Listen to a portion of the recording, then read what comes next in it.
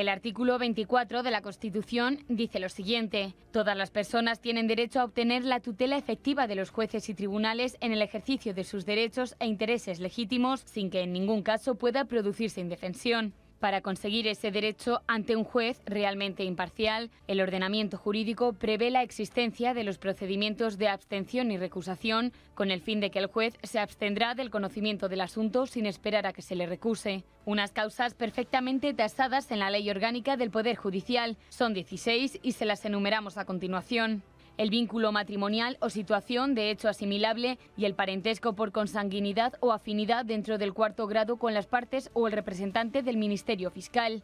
El vínculo matrimonial o situación de hecho asimilable y el parentesco por consanguinidad o afinidad dentro del segundo grado con el letrado o el procurador de cualquiera de las partes. Cero haber sido defensor judicial o integrante de los organismos tutelares de cualquiera de las partes o haber estado bajo el cuidado o tutela de alguna de estas estar o haber sido denunciado o acusado por alguna de las partes como responsable de algún delito o falta, siempre que hubieran dado lugar a la incoación de procedimiento penal. Haber sido sancionado disciplinariamente en virtud de expediente incoado por denuncia o iniciativa de alguna de las partes. Haber sido defensor o representante de alguna de las partes. O haber sido denunciante o acusador de cualquiera de las partes. Tener pleito pendiente con alguna de estas.